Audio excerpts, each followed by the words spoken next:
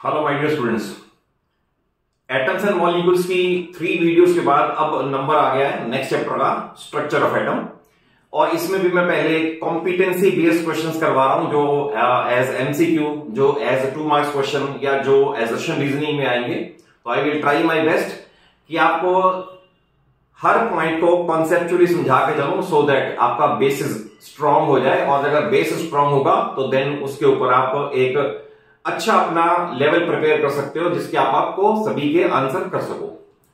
तो देखिए structure of atom में आपको छोटा सा पहले बता दूँ कि किसी भी एटम में एक सेंट्रली लोकेटेड पार्ट है which is called nucleus okay it contains two types of subatomic particles protons and neutrons याद रखने के लिए पी प्रोटोन है तो P for positive charge that is proton positively charge particles है।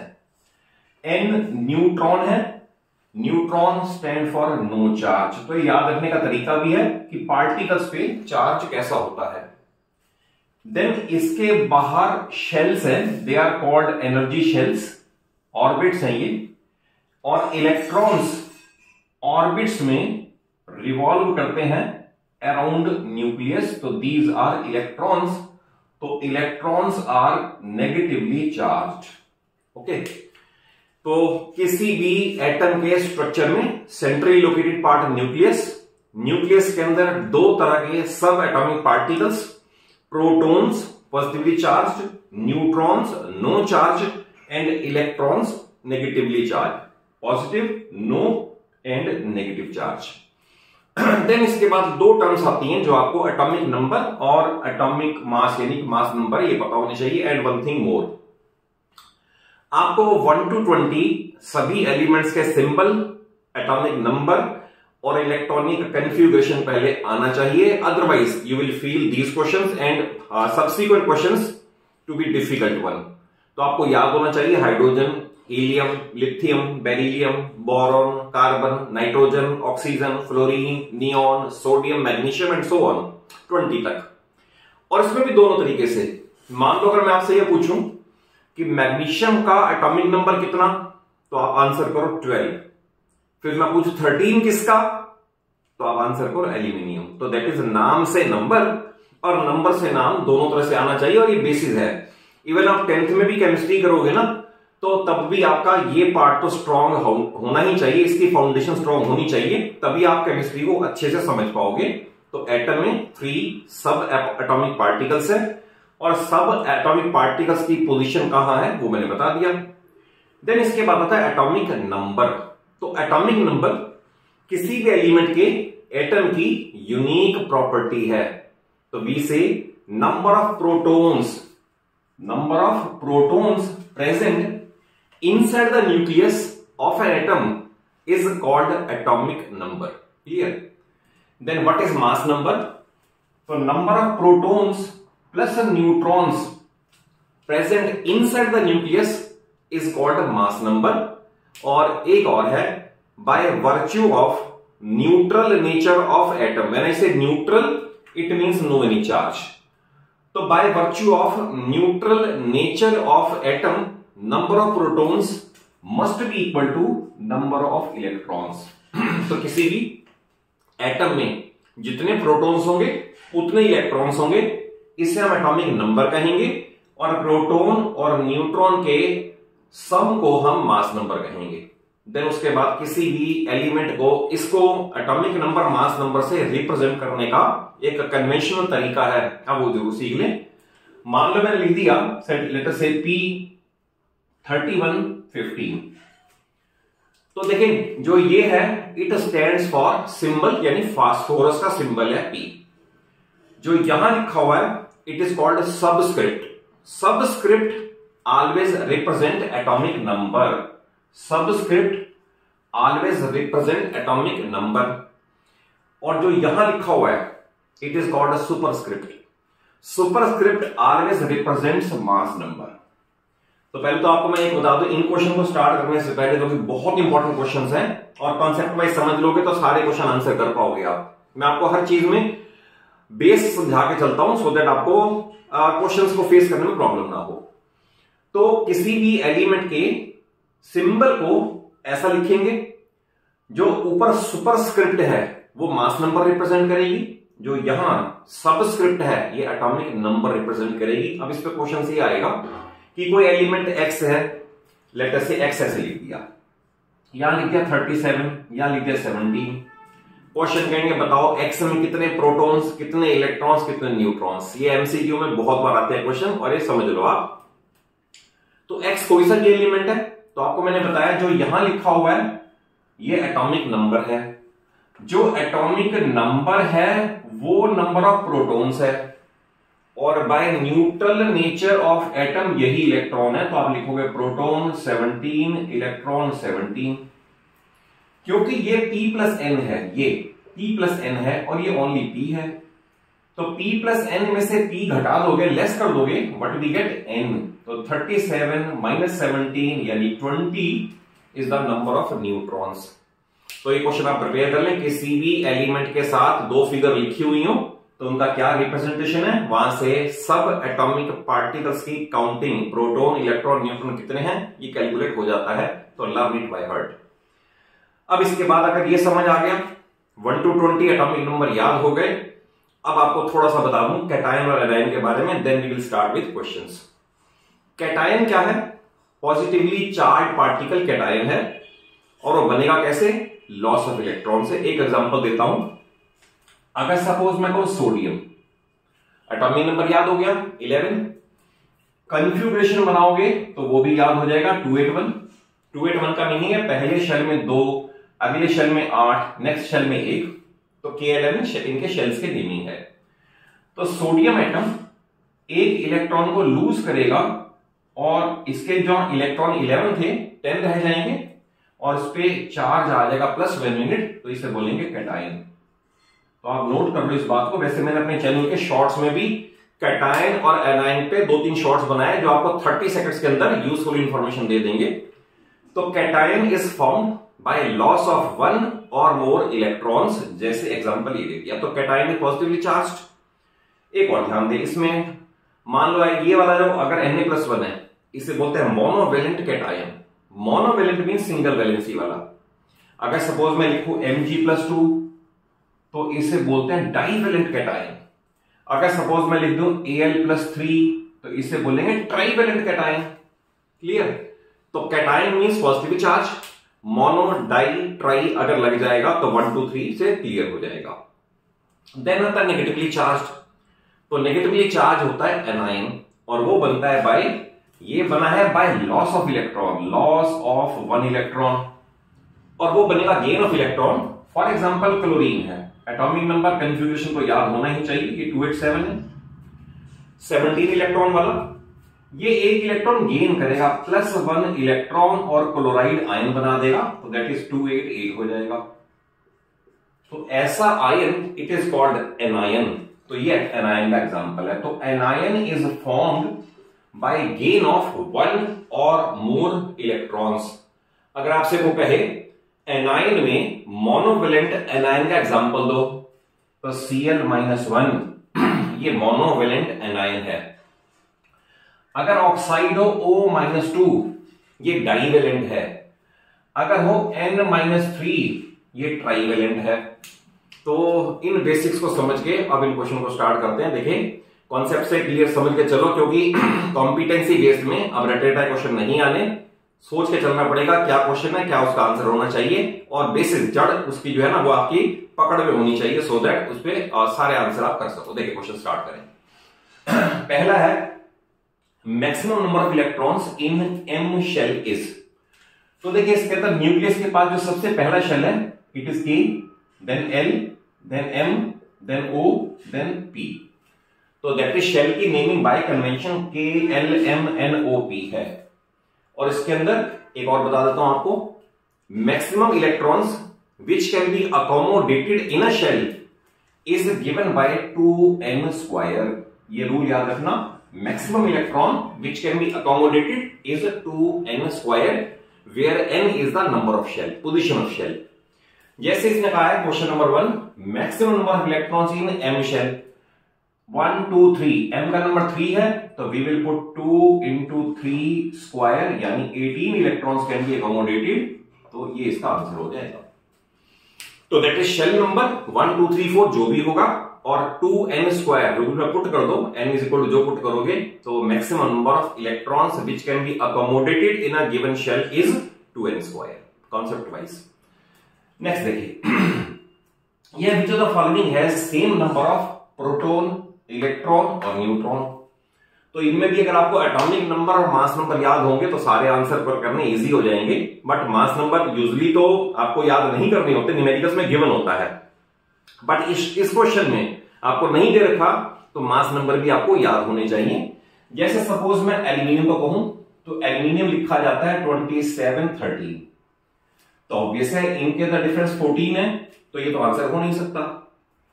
देन मैग्नीशियम को लिखा जाता है ट्वेंटी फोर ट्वेल्व तो आप देखें ट्वेल्व प्रोटोन ट्वेल्व इलेक्ट्रॉन और इनका डिफरेंस भी ट्वेल्व तो इसका मतलब आंसर ये बनेगा same number of proton electron neutron इसमें बनेगा।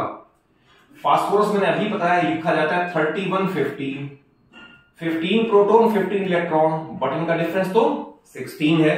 तो वो कह रहे हैं same number of proton electron neutron ये भी नहीं हो सकता। सिमिलरली सीएल लिखा जाता थर्टी फाइव सेवनटीन या थर्टी सेवन सेवनटीन तो इसके अंदर भी डिफरेंस 18 बन रहा है तो ये भी नहीं हो सकता तो answer is magnesium because magnesium has atomic number 12 number of proton 12 number of electron 12 24 minus 12 is also 12 therefore proton, electron and neutrons are equal in number ये इसका आंसर है। Next how many protons and electrons protons and electrons are there in C A plus two ion option आपके दे दिया proton electron इतने इतने इतने इतने, ये, या ये। तो पहले आप समझ ले कैल्शियम बना कैसे है। तो कैल्शियम किसका एग्जांपल है? डाइवेलेंट कैटायन का। तो डाइवेलेंट कैटायन बनेगा कैसे? By loss of two electrons तो अगर मान लो मैं इसको लिखूँगा तो कैल्शियम, मैं इसे लिखूँगा टू एट एट टू क्योंकि एटॉमिक नंबर ट्वेंटी है। जब यहाँ से इसका कैल्शियम आयन बनेगा सी ए प्लस टू बनेगा तो ये रह जाएगा टू एट एट क्यों? क्योंकि इसने दो इलेक्ट्रॉन लूज किए हैं। अब ये कह रहा है क्वेश्चन प्रोटोन और इलेक्ट्रॉन हम चेक करें प्रोटोन इलेक्ट्रॉन इक्वल तो आयन में तो इक्वल वैसे भी नहीं होते, ये नहीं हो सकता। 20 एंड 22 इलेक्ट्रॉन तो लूज किए हैं, इससे ज़्यादा हो नहीं सकता। आयन में दोनों सेम ये हो नहीं सकते। तो आप इसे अगर ध्यान से देखोगे क्योंकि यहाँ से यहाँ आने में न्यूक्लियस पे कोई चेंज नहीं आया तो प्रोटॉन तो सेम रहेंगे। बट इलेक्ट्रॉन्स दो लूज कर दिए तो 18 और इलेक्ट्रॉन ये वाला तो इसका मतलब इसकी ऑप्शन फोर है। याद रखना, किसी भी एटम का आयन बनने में न्यूक्लियस रिमेन्स अनटच्ड और number of proton remain untouched वो सेम रहेगा। बट इलेक्ट्रॉन्स आएँगे या जाएँगे, उसका चेंज आएगा तो आप इसे इस रिस्पेक्ट में सोचोगे तो क्वेश्चन का आंसर इजीली कर पाओगे। Next which forms divalent cation देखो, वैसा क्वेश्चन आ गया जो भी आपको मैंने समझाया। डाइवेलेंट कैटायन कैटायन हो और डाइवेलेंट दो वैलेंसी वाला हो। तो ये वही बनाएगा जिसके वैलेंस शेल में दो इलेक्ट्रॉन होंगे। आप कॉन्फ़िगरेशन बना के देखोगे। जैसे इसके अंदर है डाइवेलेंट कैटायन इसका बनता है टू एट टू कॉन्फ़िगरेशन भी याद होना चाहिए। तो ये दो इलेक्ट्रॉन लूज करेगा और divalent cation G plus two बना देगा। तो हमें पहली ऑप्शन ही ठीक मिल गई। बट अगर आप ऑक्सीजन को देखोगे तो ऑक्सीजन डाइवेलेंट एनायन बनाता है। ध्यान रखना एनायन डाइवेलेंट मैंने यहाँ भी बताया था डाइवेलेंट एनायन हीलियम ये इनर्ट गैस है। इनर्ट गैस कुछ भी नहीं बनाता, कोई आयन बनाता ही नहीं है इनर्ट गैस ये तो वैसे रिजेक्ट हो जाएगा। और क्लोरीन भी नॉन मेटल है, ये भी माइनस वन वाला, मैंने अभी शायद बताया भी था, ये बनाएगा। ये कह रहा है कैटाइन तो सिर्फ़ सिंगल ऑप्शन ये है, जो डाइवेलेंट कैटाइन बनाती है। आई थिंक कॉन्सेप्ट क्लियर हो रहे होंगे आपको। और फिर एक ही बात कहूँगा कि जब भी मेरी वीडियो को वॉच करो, आप रजिस्टर और पेन ज़रूर लेके बैठो, आप उसमें each and every thing note करो। आप उसको नोट करके then think over it try to learn और अगर कोई आपके डाउट्स स्टिल रह जाते हैं तो कमेंट बॉक्स में आकर ज़रूर पूछो बट तभी आप आंसर कर पाओगे अगर आप ईच एंड एवरी वर्ड को केयरफुली सुनोगे तो। Next which loses three electron to form ion तो देखिए इसने कहा विच लूजेज तो जितने मेटल्स है ना, जिनके बाहर वन टू थ्री इलेक्ट्रॉन्स होते हैं, वही लूज करते हैं। नॉन मेटल तो या गेन करते हैं या शेयर करते हैं, याद रखना ये वाली बात भी। मेटल्स लूज करते हैं जिनके आउटर मोस्ट शेल में, यानी वैलेंस शेल में वन टू या थ्री इलेक्ट्रॉन्स होंगे, वही करेंगे। तीन इलेक्ट्रॉन लूज करने वाला, इसका तो कन्फ्यूगेशन सोडियम लिथियम का वन है इसके बाहर तो ये तीन लूज कर नहीं सकता। क्योंकि hydrogen helium lithium atomic number इसका थ्री है atomic number is three but lose तो एक ही करता है। देन सोडियम है ये भी सिर्फ़ टू एट वन है तो एक ही लूज करेगा। देन कैल्शियम है कैल्शियम मैंने बताया था टू एट एट टू ये दो ही लूज करेगा।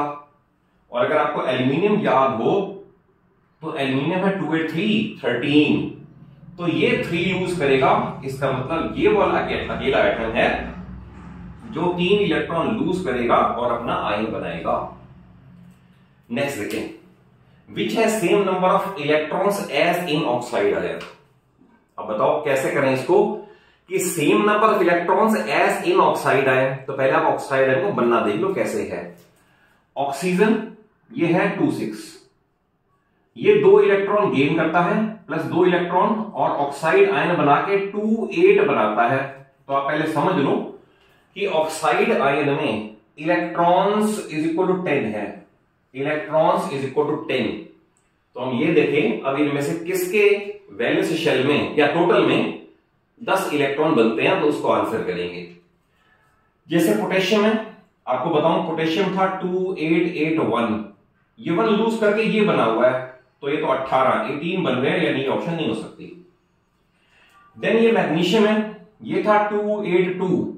ये दो लूज करके ये रहा होगा तो ऑब्वियस है टेन इलेक्ट्रॉन है मैग्नीशियम आयन में। इसने कहा उतने इलेक्ट्रॉन जितने ऑक्साइड आयन में।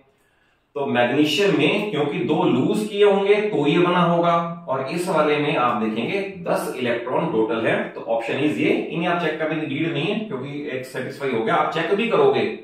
तो आपको मैं बता दूँ, ये टू एट एट आ जाएगा, अट्ठारह वाला आ जाएगा, ऐसे ही आ जाएगा। तो यही ऑप्शन इसके अंदर करेक्ट बनती है।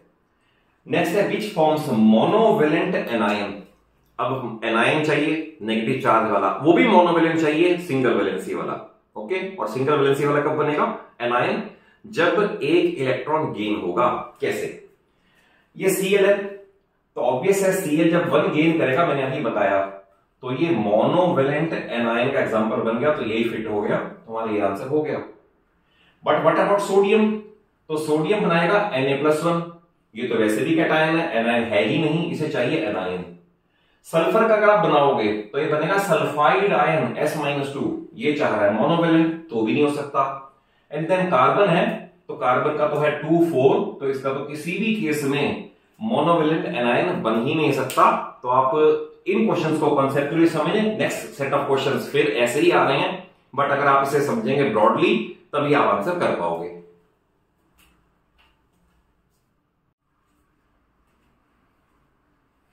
देखें नेक्स्ट सेट ऑफ़ क्वेश्चंस लेने से पहले uh, मैं आपसे कहूँगा कि if you are new to my channel and you want to gain knowledge only no any entertainment no any फालतू की बात ओनली नॉलेज चाहिए तो आप मेरे चैनल को ज़रूर सब्सक्राइब कर लो और आपको पूरी नाइन्थ और टेंथ की content based videos and content based shorts मिलेंगे। और if you want to top your school city और इवन डिस्ट्रिक्ट और इवन हायर देन दैट तो आपको सभी चीज़ों को कॉन्सेप्चुअली समझ के ही चलना पड़ेगा सो so दैट आपके मार्क्स अच्छे हैं। तो आप इसे चैनल को मेरे ज़रूर सब्सक्राइब कर लें। एंड कंटिन्यू वाचिंग वीडियोस लिया भी सेवेंटी में सिलेबस कवर कर चुका हूँ मैं बट स्लोली एंड स्टडीली बाकी सारा सिलेबस भी कवर हो जाएगा।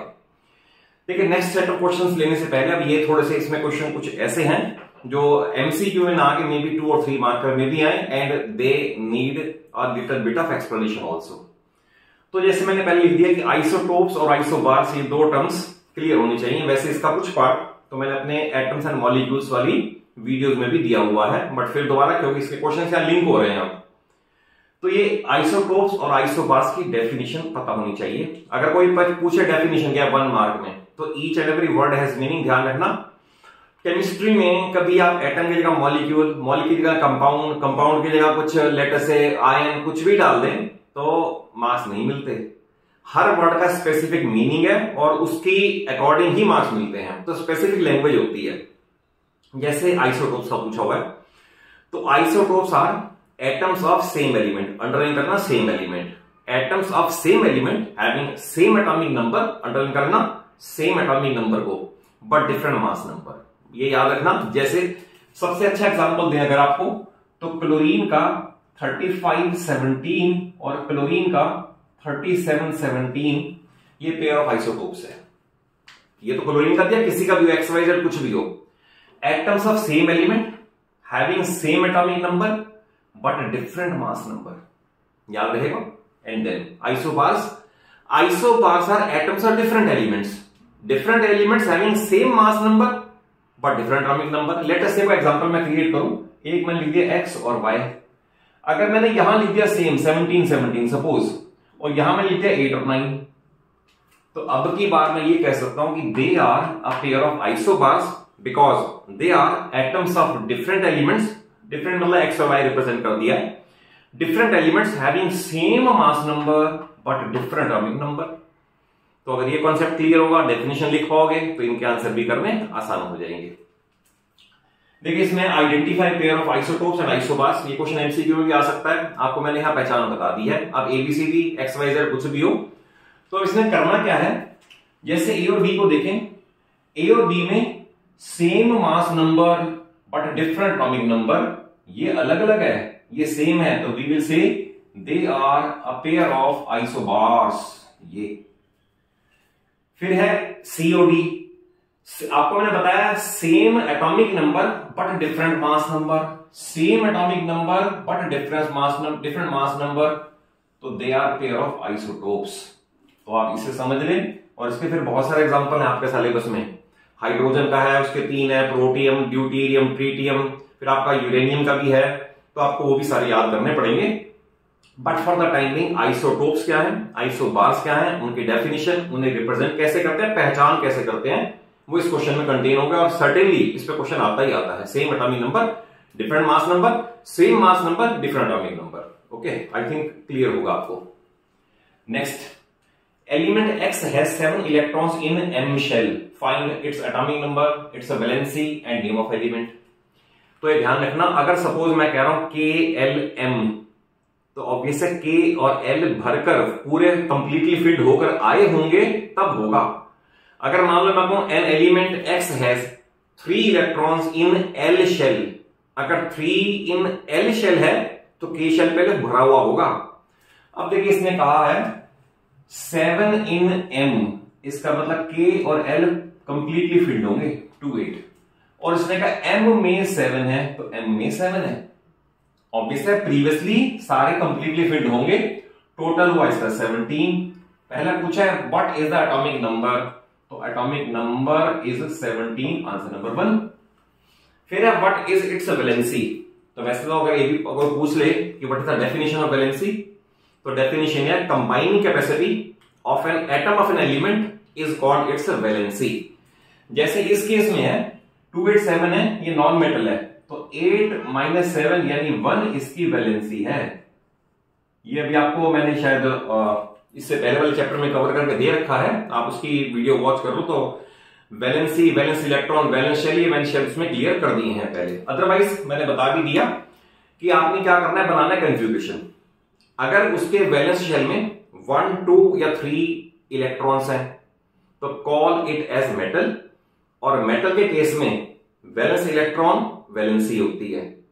बट अगर वैलेंस इलेक्ट्रॉन फोर से लेकर सेवन तक है फोर से four five six seven call it as non metal और नॉन मेटल में valency is equal to eight minus valence electron इसलिए मैंने अप्लाई किया eight minus valence electron due to seven valence electron it is non metal और non metal में valency कैसे decide होगी? Eight minus seven तो answer number two और फिर है नेम द एलिमेंट ये दोनों आंसर हो गए नेम द एलिमेंट तो आपको अगर वन टू ट्वेंटी सारे याद है तो आपको पता होगा कि सेवनटीन क्लोरीन का है तो name of element is chlorine तो ये इसका कंप्लीट आंसर है।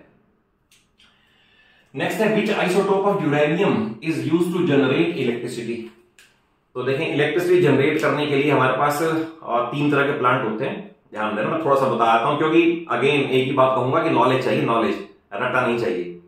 देखिए, या तो होता है थर्मल पावर प्लांट जो thermal power plant electricity generate करेगा, वो या तो कोल को यूज़ करेगा या फिर सीएनजी यूज़ करेगा।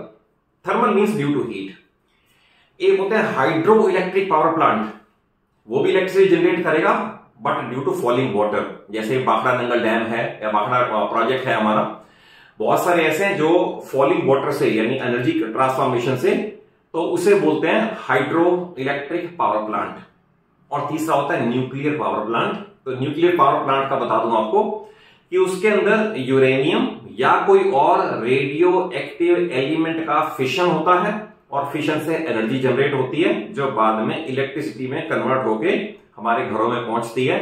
तो it is nuclear power plant which generate electricity but अगर इतना सारा कुछ याद ना भी रख सको बट ये क्वेश्चन तो आपके सिलेबस का है कि which isotope of uranium is use to generate electricity तो वो है U two thirty five ninety two ये आइसोटोप ऑफ़ यूरेनियम है, यानी यूरेनियम का वो आइसोटोप जिसमें 92 प्रोटॉन्स और प्रोटॉन प्लस न्यूट्रॉन 235 हैं। तो ये इसका फिशन होता है, इसके फिशन से एनर्जी जनरेट होती है और जो बाद में इलेक्ट्रिसिटी में कन्वर्ट होती है। वैसे इसका यू टू थर्टी एट भी है but U two thirty eight को हम यूज़ नहीं करते, इसको पहले एनरिच करते हैं। एनरिचमेंट का प्रोसेस है, आपके सिलेबस में नहीं है। But U two thirty five is use to generate electricity इसके फिशन से एनर्जी पैदा होती है। Next an element X form its chloride as X C L two अब देखिए ऐसे कितने भी क्वेश्चन है। अगर आपको वैलेंसी याद नहीं है, जो आप प्रीवियस चैप्टर में कर चुके हो तो आंसर नहीं कर सकते। बहुत ही प्रॉब्लम होगी। तो आपको याद होना चाहिए, जैसे मान लो आप सोडियम तो आपको एन ए प्लस वन मैं पूछूँ आपसे लेटर से क्लोराइड आपको C L minus one that is valency भी याद होनी चाहिए अदरवाइज़ नहीं होते आंसर इसमें करना क्या होता है आपने? आपको एनाइन की वैलेंसी याद होनी चाहिए. देन क्रिस क्रॉस मेथड के उल्टे से आप कैटाइन की वैलेंसी डिसाइड कर लो. कैटाइन के वैलेंसी के बाद फिर फार्मूला बना दो. तीन स्टेप है, मैं इलस्ट्रेट कर देता हूँ. And I can create one thousand examples for you तो आप समझ लें कैसे होगा. जैसे सपोज़ ने कहा कोई एक एलिमेंट एक्स है, उसका क्लोराइड एक्स है. तो आप ये देखें एल माइनस वन होता है। और एक्स का टू रहा होगा, तभी तो ये टू आया। हमने कहा इसका फार्मूला क्रिस क्रॉस के उल्टे मेथड से एक्स सी एल टू बना दिए इसने। ये तो हमें पता होना चाहिए, इसके बिना तो हो नहीं सकता। तो ये टू की फिगर यहाँ से आई होगी। तो यहाँ से पहले हमने कंक्लूड किया कि एक्स जो है डाइवेलेंट कैटायन है ये डाइवेलेंट कैटायन है। तो पहले आपने ये जज करना है। जब ये जज कर लिया और उसके बाद इनकी वैलेंसी याद होनी चाहिए। अब इसने कहा what is the formula of its oxide तो आपने x प्लस टू जज कर लिया। ऑक्साइड याद होना चाहिए। तो इसका फार्मूला बनेगा XO x का ऑक्साइड ये बनेगा। Then formula of its nitrate x आपने जज कर लिया divalent nitrate NO3 minus one याद होना चाहिए, नहीं तो नहीं कर पाओगे। तो x ये इधर जाएगा तो NO3 का होल ट्वाइस NO3 का होल ट्वाइस ये बनेगा फार्मूला x का नाइट्रेट ओके जैसे मान लो सपोज़ कैल्शियम नाइट्रेट होता ना तो कैल्शियम नाइट्रेट ऐसे ही बनता है, क्योंकि कैल्शियम डाइवेलेंट है. कैल्शियम नाइट्रेट मान लो मैग्नीशियम नाइट्रेट होता तो ऐसे ही बनता. MgNO3 होल ट्वाइस क्योंकि ये भी डाइवेलेंट है. तो ऐसा ही मैंने बनाया है उसको एक्स कर दिया. देन है सल्फेट तो सल्फेट होता है SO4 माइनस टू तो x आपने जज कर लिया प्लस टू सल्फेट आपको याद होना चाहिए SO four minus two two and two will nullify each other and x SO4 is the formula of its sulphate जैसे कैल्शियम सल्फेट होता तो CaSO4 होता, जैसे ये है। मैग्नीशियम सल्फेट होता तो M G S O four होता लाइक दिस तो इसके पैरल आप सीख सकते हो, ऐसे आप क्वेश्चन आपको डिफरेंट बुक्स में जितने भी अच्छी पब्लिशर की बुक्स हैं, आपको ऐसे क्वेश्चन कई मिलेंगे। आप प्रैक्टिस करो। और किसी क्वेश्चन में कोई प्रैक्टिस आए, कोई दिक्कत है प्रैक्टिस करते हुए आपको तो I am here to help you आप उस क्वेश्चन में से मेरे वीडियोस में कमेंट करके पूछ सकते हो and each and every comment is properly replied then ये वाला क्वेश्चन हो गया, इसका सारा, और लास्ट क्वेश्चन ये are isotopes of an element chemically similar explain तो ध्यान रखना, जैसे मैंने क्लोरीन के दो बताया लेटर से इसी को पकड़ ले। तो क्वेश्चन है, ये क्लोरीन के दो आइसोटोप्स हैं, क्या ये केमिकली सिमिलर हैं? तो इसे एक्सप्लेन करो, आपको बताता हूँ, ध्यान से सुनना और हर वर्ड को नोटिस करना।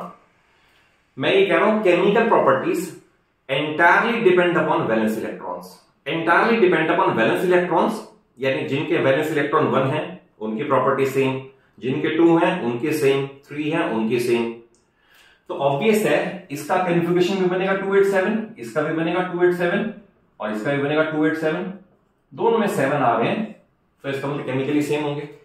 करेक्ट और फर्दर एक्सप्लेन कर सकते हैं। Chemical properties entirely depend upon valence electrons which is same in case of pair of isotopes तो इसमें दोनों के अंदर इलेक्ट्रॉन सेम होने की वजह से कंफ्यूगेशन सेम है। कंफ्यूगेशन की वजह से वैलेंस इलेक्ट्रॉन सेम है। वैलेंस इलेक्ट्रॉन की वजह से केमिकल प्रॉपर्टी सेम है। तो हेंस वी से कि आइसोटोप्स का पेयर हमेशा ही केमिकली आइडेंटिकल होगा, क्योंकि number of valence electrons same है।